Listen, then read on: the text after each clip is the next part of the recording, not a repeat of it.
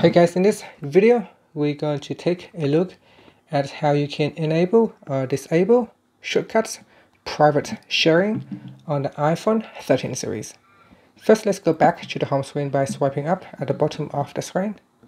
And on the home screen, tap on settings. In settings, go down and tap on shortcuts. In here, tap on private sharing switch to turn it on or switch it off. Now if it is on, then the phone can uh, receive or allow to receive shortcuts directly from people in your contacts. It's also said that Apple cannot verify the authenticity of shortcuts shared privately. And that's it. So now you can tap on the back key to go back to settings, uh, swipe up to go back to the home screen. Thank you for watching this video. Please subscribe to my channel for more videos.